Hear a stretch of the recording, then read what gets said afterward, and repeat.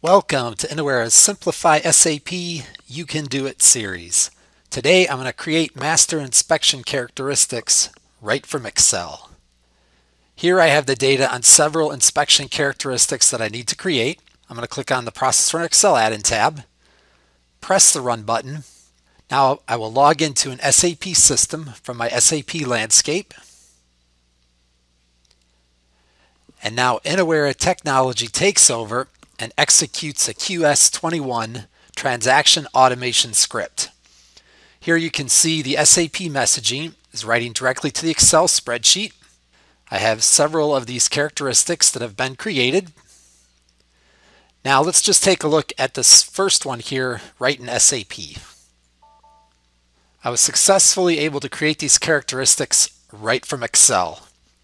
Thanks for watching, and if you'd like to learn more about how to simplify SAP, Visit us at innowera.com and be on the lookout for more videos in this series.